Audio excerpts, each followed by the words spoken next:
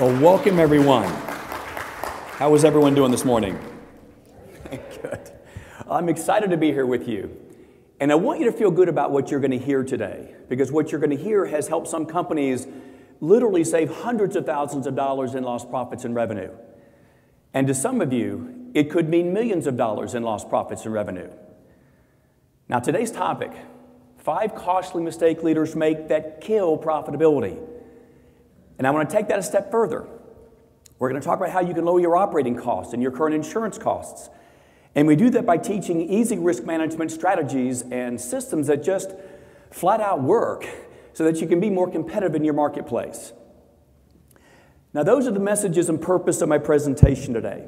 And I believe in teaching people how to insulate their companies from risk and losses that cause their money to go up in flames. And I want, to, I want to share with you some tips, tools, insights with you that you can take back with you to the office today and, and, and use in the weeks and months to come. Now, does everyone have a pen that's working? We're going to be covering a lot of great information today that you will not want to miss out on. If you need one, I've got some extra ones up here. Does anyone need a pen?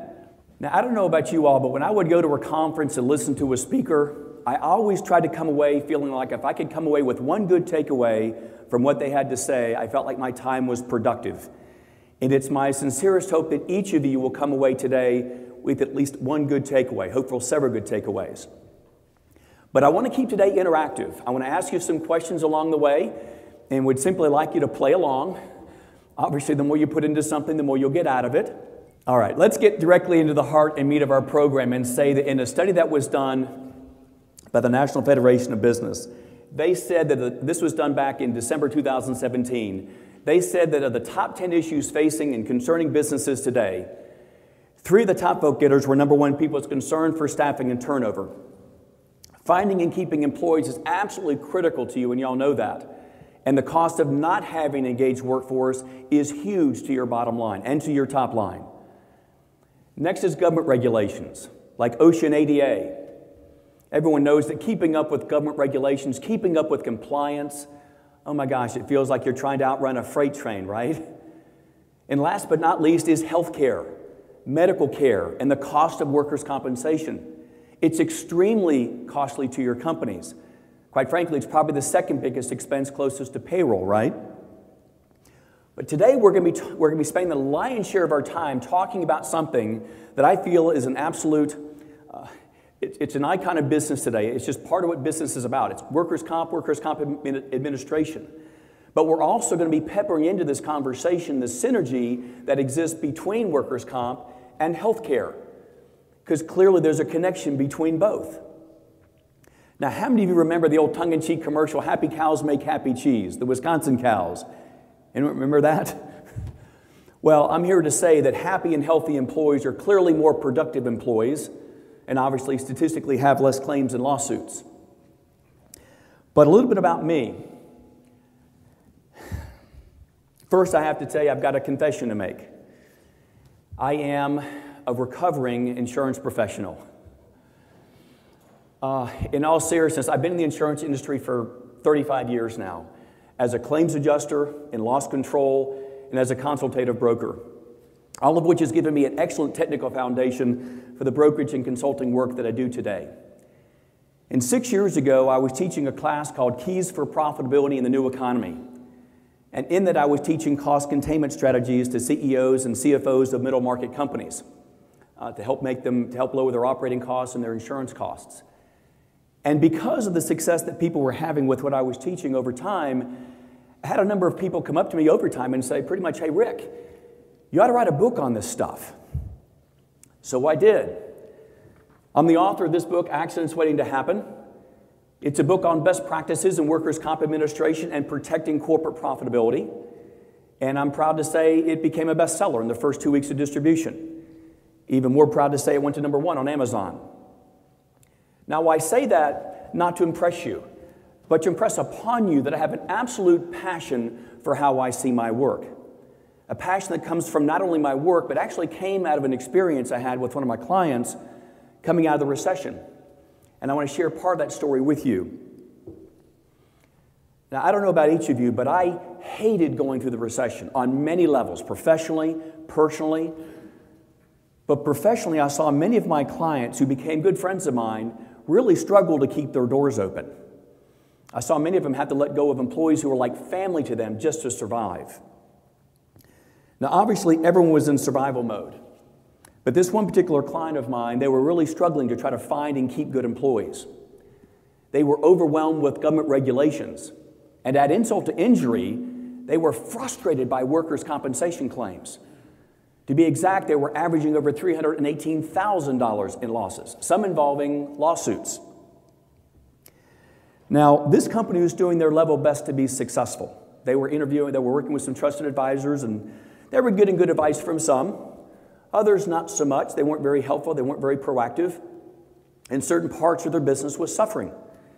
In the area of risk management, they were bleeding arterially and asked for my help. Now, I witnessed the CEO. He was really a good guy. He was really concerned about how they were going to get through this.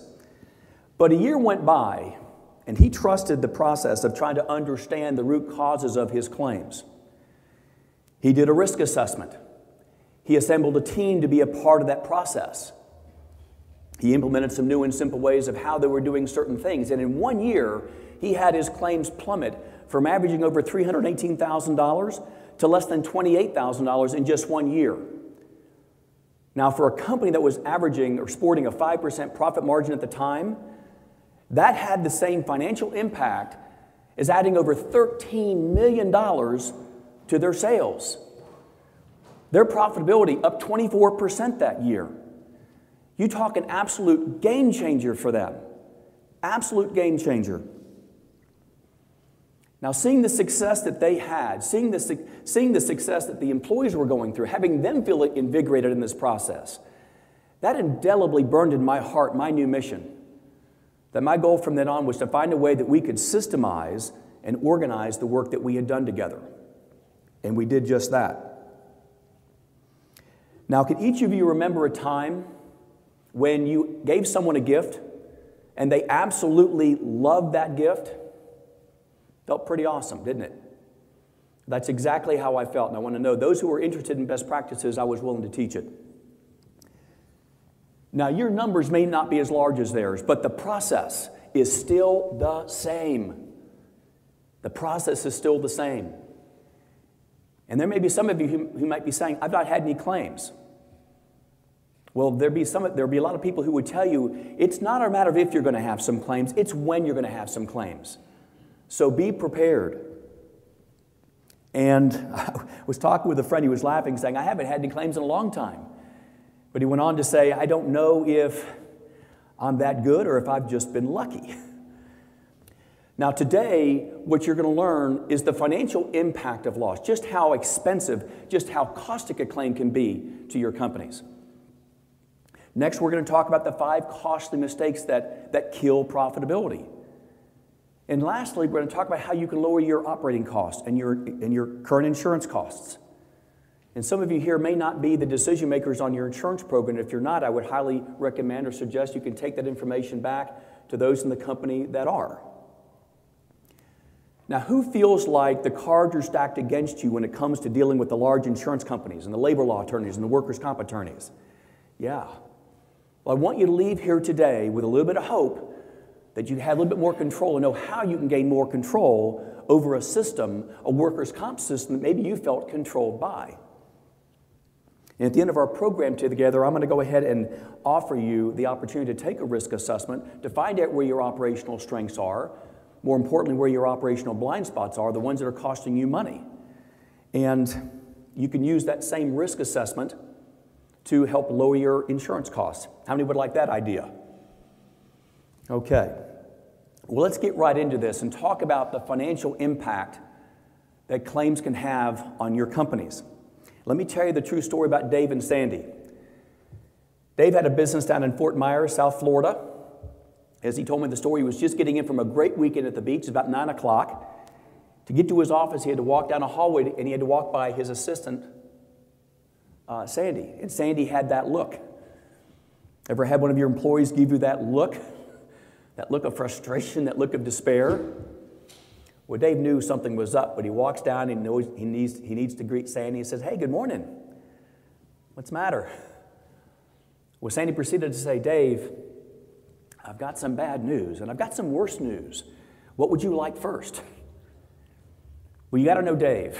Dave's a bottom line kind of guy, kind of rolls his eyes and just, just, just tell me. Well, Sandy proceeded to say, Remember the guy that we hired a couple weeks ago, George? Well, you knew he had a workers' comp claim, right? Well, they just found out this morning he's suing us. He's getting an attorney. Well, as soon as Dave heard that, his stomach went into a knot because this isn't the first time this has happened to Dave. And he's thinking to himself, that's just great. Here we go again. Someone taking advantage of us, taking advantage of the system. So let me share with you a little about the chemistry of the situation. David just hired on two new, uh, 20 new people in one month to build out a job he'd just been awarded.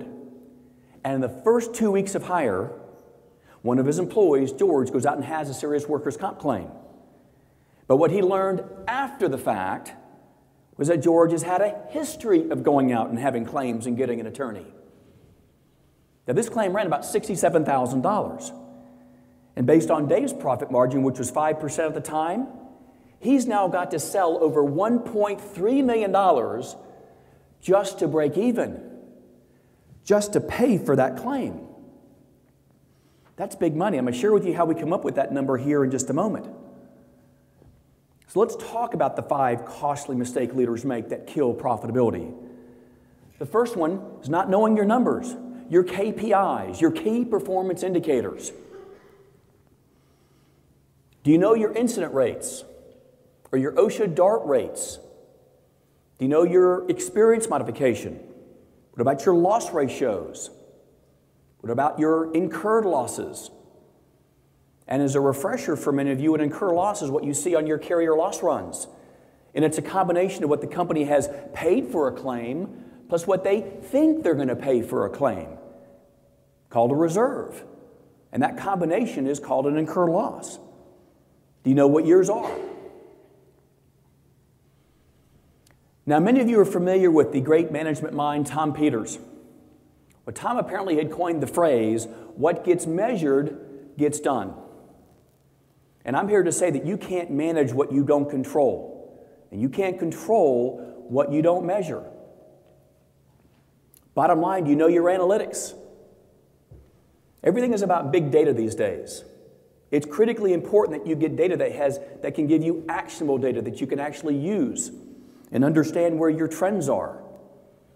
Do you know the time of day or day of week that your losses are occurring? Do you know the type of body part that consistently gets injured, the types of injury that you're having? I find sometimes nine out of 10 leaders never really keep up with this, and it's important if you want to get started. So let's talk about the second costly mistake leaders make not knowing the real cost of claims. And we talk about the real cost of claims, we're talking about not only the direct cost of those claims, but the indirect cost of those claims as well. And that picture of an iceberg is a great depiction of really what we're talking about here. Because most every time the actual physical cost of a claim pales in comparison to the indirect cost that those claims have on your company. So let me explain this a little bit further. Who here has heard, let me see a show of hands, of the, of the terminology total cost of risk? Who's heard of it? Total cost of risk. Good. It's been around for a long time. It's been around since 1974. It was created by a guy by the name of Frank E. Bird Jr. And Frank had a publication called The Real Cost of Accidents Can Be Measured and Controlled. Now, I'd like everyone just to stop. And I want you to think about how much your company pays in premiums right now and put that number in your head. Or how much do you think your company is paying in premiums? Put that number in your head. Talking everything your property, liability, workers' comp, health care, it's probably a big number. But let's say it's $100,000. What the science of TCOR says, if your premium was $100,000, your total cost of risk is conservatively over a million dollars. Which means your bigger cost to your companies isn't what you pay in premiums. It's what's below the waterline. How much did your last bad hire just cost you? Think about it. Who's had someone working with you for five, six, seven months and they left your company? It's happened to me. SHRM, Society of HR Managers, you all are well aware of, they put a publication out several years ago saying if you've got someone making $30,000, $35,000 a year and they're with you for six months and they go, that employee costs you upwards of $70,000, $75,000. Extremely expensive. The cost to rehire, the cost to retrain, the loss of production, your involvement, attorney involvement. It's extremely costly to your companies. Extremely costly to your companies. So, what's the moral of the story here? The moral of the story here is you want to find resources. When you think about your risk management program, think beyond just getting quotes. Think beyond that. Look for resources that you can actually have and use that can help you lower your operational costs. So let me direct your attention. Let me share some with you that comes out of OSHA called indirect loss cost factors. Again, indirect loss cost factors. What OSHA says is for any claim that you have, there are some very real additional costs associated with them. And as you can see, they've got factors there that range anywhere from 1.1 to 4.5. So a $10,000 claim turns into $20,000 really actually pretty quickly. Now, if everyone would, pull out your cell phone if you would. Pull out your cell phone and put it in calculator mode. I want to take you through a quick, brief, simple math problem, but let me know when you're there. I told you I was going to take you back to the example that we talked about with Dave. I told you that Dave had a claim, and that number I want you to put in your calculator is 67,488. That was the number that we just talked about in Dave's situation. Now, I want you to multiply that times the lowest, multiply that times 1.1. That was the lowest factor that we had from before. And what do you come up with? Who's got it? 74,236. Now keep that number in your phone. That's the cost of your indirect costs. Now add back to that number, add in 67,488. And what do you come up with?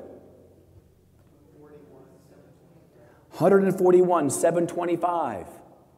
Wow.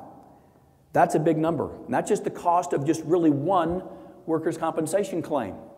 Now, I told you we were going to pepper into this conversation the synergy that exists between workers' comp and healthcare. So, let me share with you a study that came out of Duke University back in 2012. 12,000 people were involved in this study. It was done by the Medical Center of Analysis on overweight folks.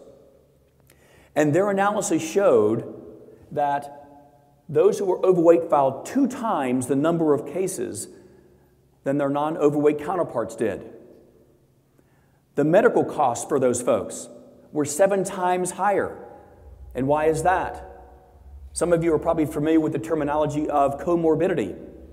If we've got, we've got some of our employees who have several serious health situations, are overweight, they've got diabetes. I've got a friend right now who's got to wait two months before they have surgery, needed surgery, before they can start that. That's why costs are more expensive. And last but not least, they showed that they had 13 times more days off from work. So, what's the moral of the story here? Do risk assessments on the health of your people. Get them healthy. Get them into wellness programs. And wellness programs of today are so very different than they were even a couple years ago. Now, I promised you I would share with you a tool. Feel free to write this tool down. This comes from the Department of Labor. And this is a great site because you can actually go online and actually get better explanations to operational soft costs for your company, but it has a great calculator tool in it. And what I would suggest is that when you get back to the office, either yourself or have one of your staff, get your loss runs and take your loss runs through the formula. I think you'll find it'll be a very eye opening experience. All right, let me tell you about the story about Mario. Mario was a company up in north, northeast Florida, up in, up, in, up in Jacksonville, and he had eight claims in one year totaling over $87,000. He paid his $12,000 in deductible, and the carrier paid the rest. What Mario figured out is that he had over $93,000 in additional soft costs for a total of $180,000 in total loss costs. Big numbers. Now, again, this is what was interesting. Mario really wanted to understand the impact that his claims were having on his company. So he took the time to figure this out. And it took him about three or four months, he told me, to, to, to do this. And this is his math. And as you look down that list, all those items on that list are going to make sense to you. Very common sense stuff. He had cleanup costs, loss of production. And he got off real easy in the, in the legal department because we generally see fifteen and twenty thousand dollars for legal fees with things like this. Fortunately, he only had what ten thousand four hundred dollars in legal fees. And two of, the, uh, two of the four employees that were involved in the accidents, one he fired, one quit. So, six, so $6,852 in training costs, that was all just money up in smoke. Mario ended up having one of those V8 moments. Looked after the fact, he said, You know what? If I had, if I had done a little bit of training, those losses really they probably wouldn't have happened and it would have saved my company a ton of money in the process, as he said. Now, I want to, I want to shift gears now and I want to talk about the impact that your claims have on your top line, on your sales. And the calculation is really simple here. The first thing you've got to know as a company is what is your net profit margin as a company? And again, the math is really simple. You take 7% and divide that into your total loss costs. In this example here, if you had your calculators out, that number turns out to $2,582,000. That's a lot of sales that have to be impacted and done just to break even. Big money. So let me put this in your world. How much, how much work do you have to do to get $180,000 in profits?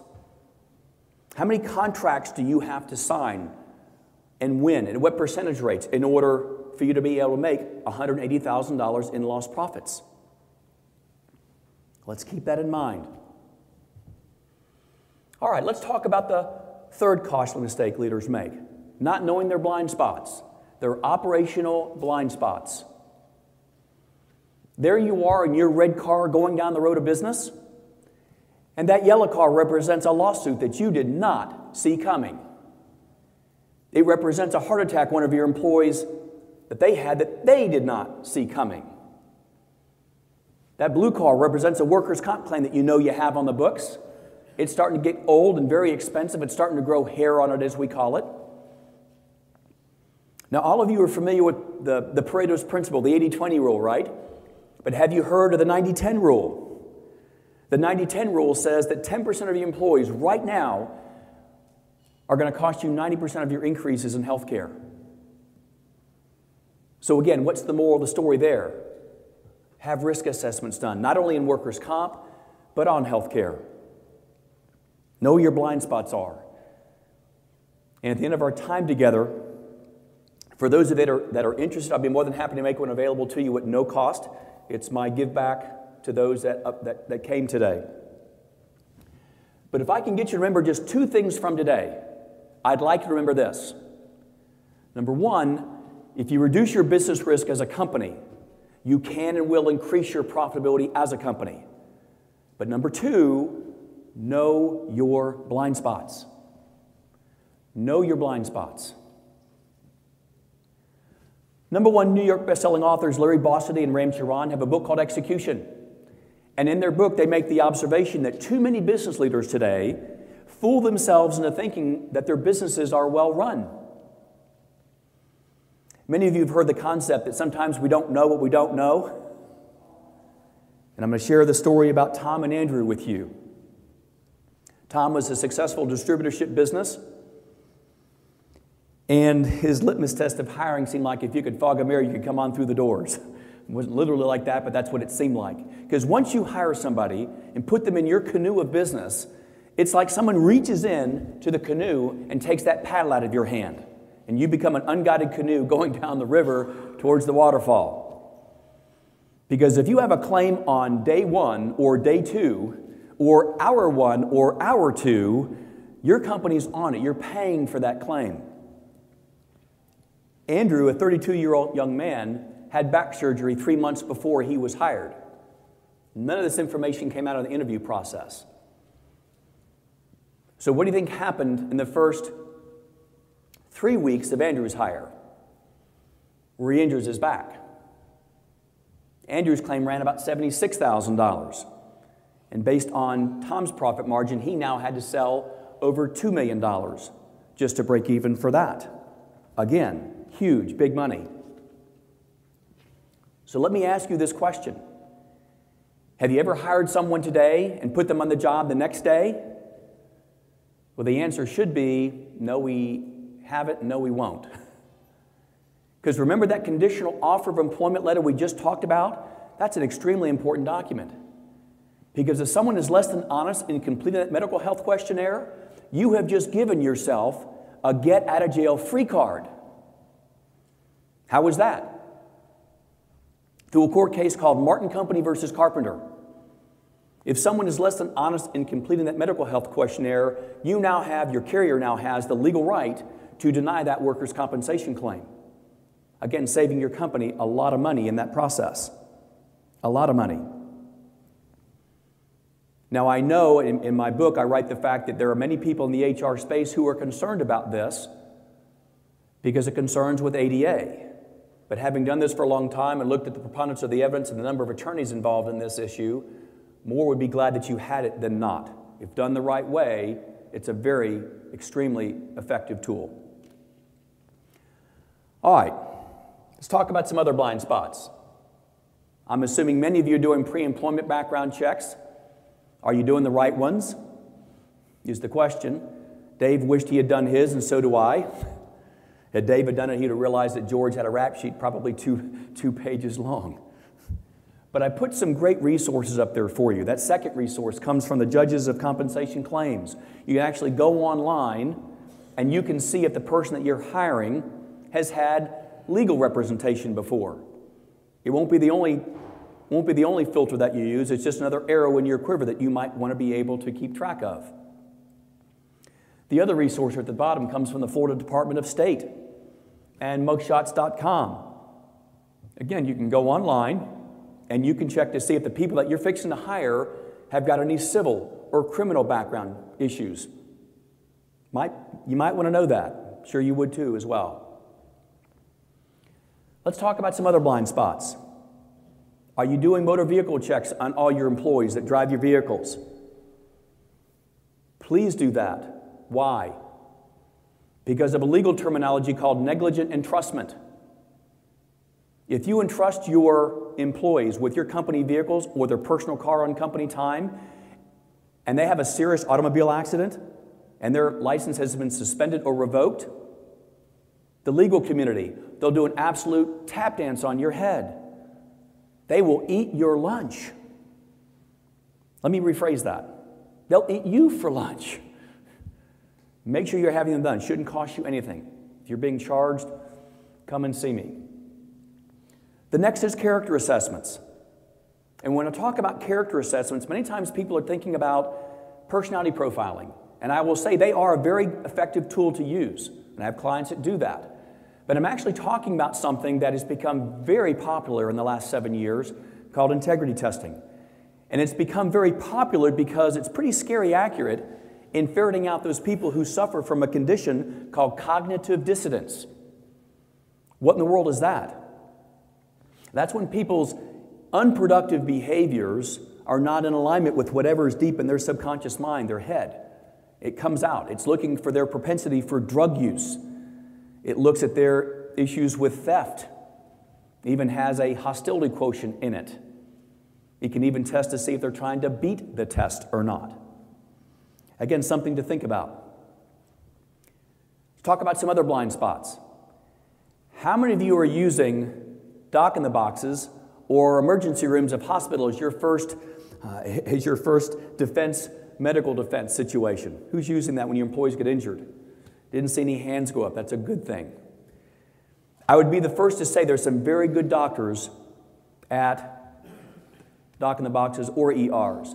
But I'm here to advocate to you that you want to consider using occupational physicians. And why is that?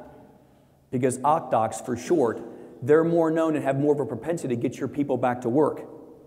We witnessed during the recession, and we still see it today, where there's some doctors who look for a gravy train of annuitized income from you and your insurance company by having your employees come back and back and back for medical care. Shouldn't be that way. Occupational medical facilities are more in line with getting your people back to work. Which then cascades me into another important topic. How really robust can you tell yourself is your return to work program? It's huge. It's an absolute huge cost driver to the cost of your work comp program and to your company. Let me give you an example. Let's say that you're spending 50, 100, a half a million dollars on your workers' comp insurance as a company. Let's say tomorrow you have a $5,000 claim. How much do you think that claim is going to cost your company? Some people say, well, gosh, probably costs $5,000. Well, no, I've got an insurance company paying my claim. Paying, I'm spending $100,000 in premiums. No, you're going to spend the $100,000 in premiums and you're going to pay the $5,000 back. And you're thinking, how is that? Because of an issue called an experience modification. You end up paying your claims back, everyone. Workers' comp's not insurance, it's almost like a, a funding mechanism for claims. But let me spice this up a little bit.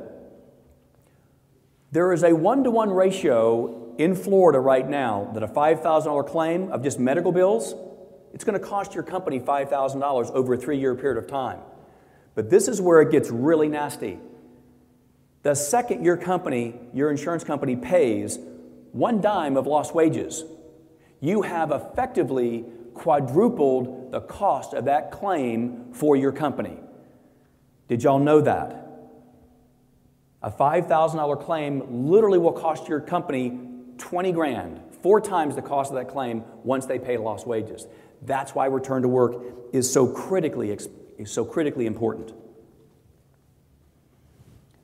All right, let's talk about the fourth costly mistake leaders make not having systems and structure when it comes to your risk management program. Now, if you're ever looking for an excellent business book that could actually even potentially change your life, I'd highly recommend that you get Marshall Goldsmith's book called Triggers. Marshall was voted the number one rated CEO coach of Fortune 500 companies three years in a row. And Marshall said in his book, We do not get better without structure. And he was the CEO coach for then the CEO of Ford, Alan Mulally.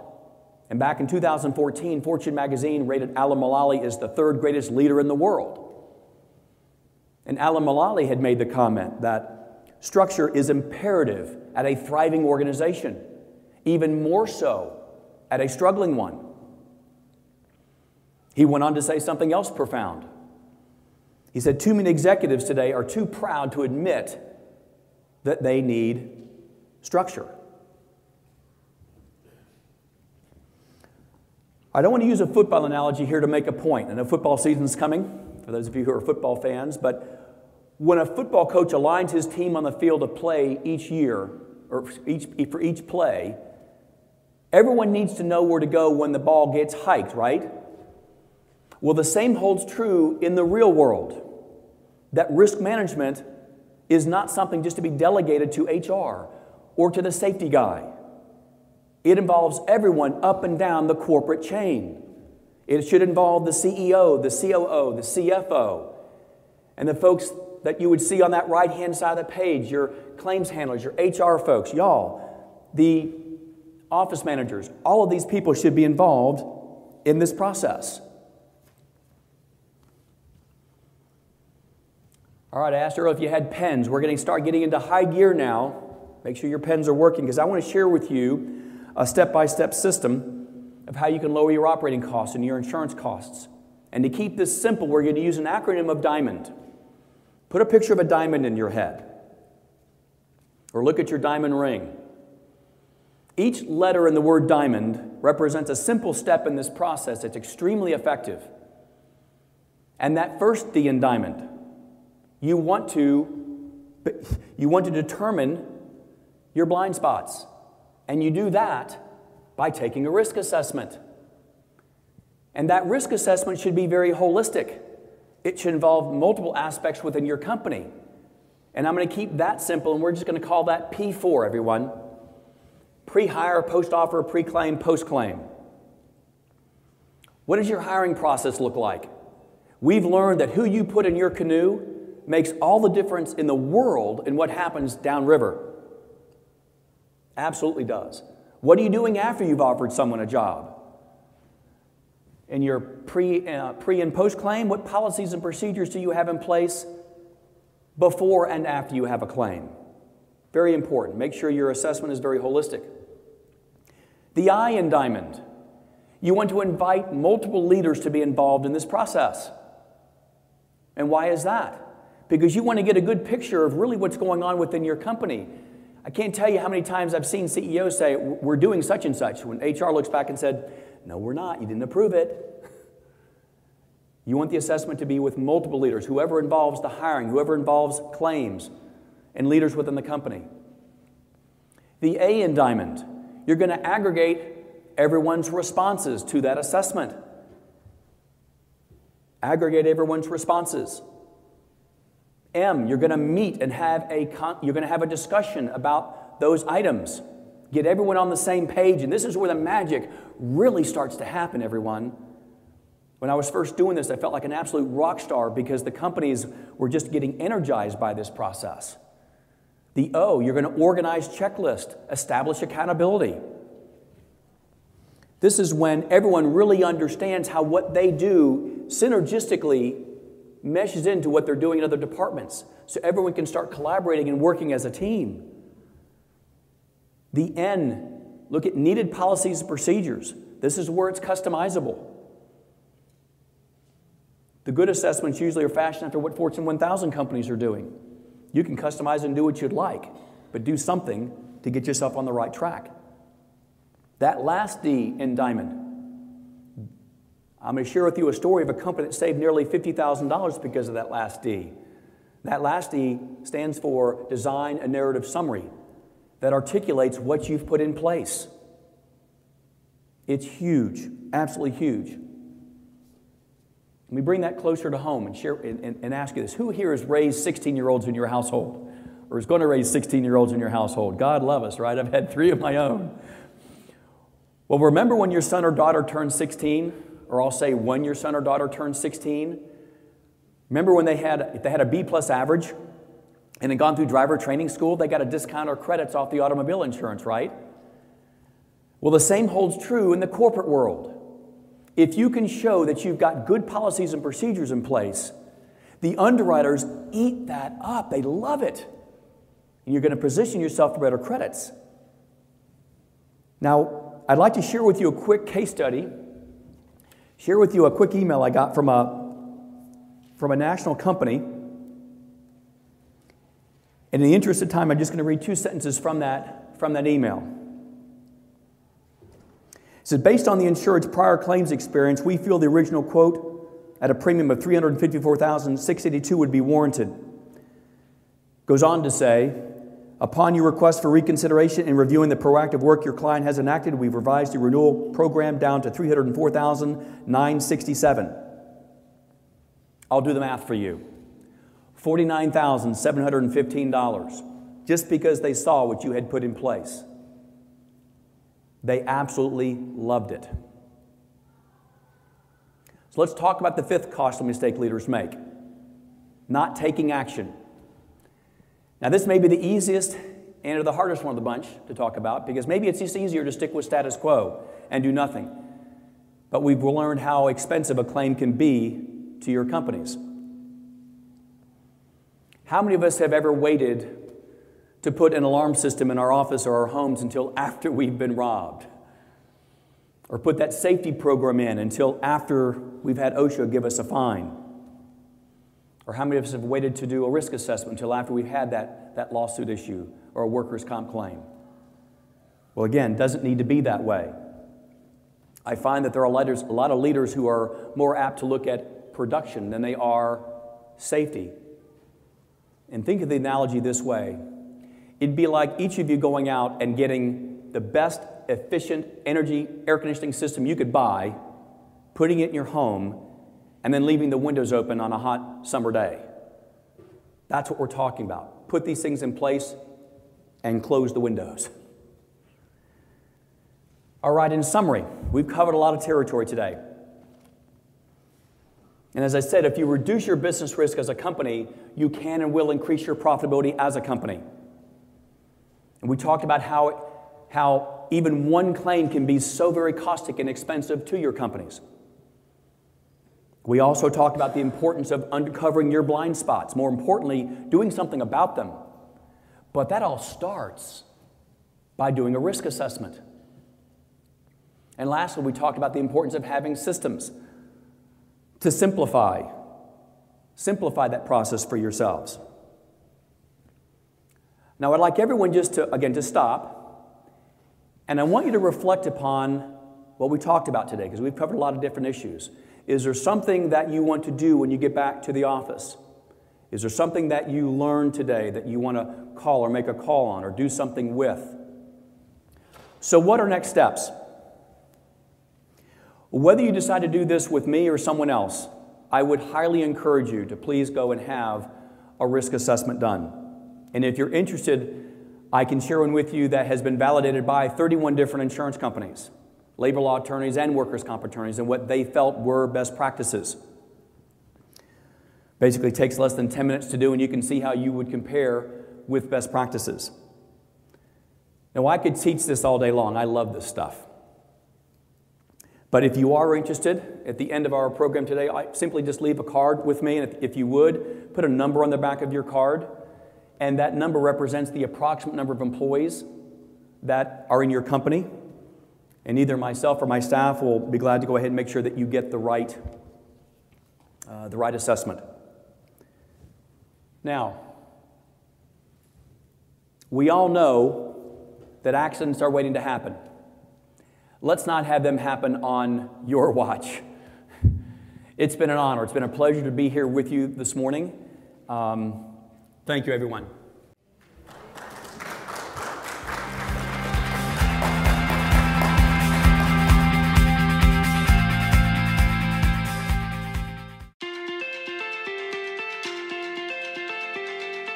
When I went into business, I didn't set out to write a number one best selling book or speak to audiences nationwide, or for that matter, help develop a risk assessment tool respected by my industry.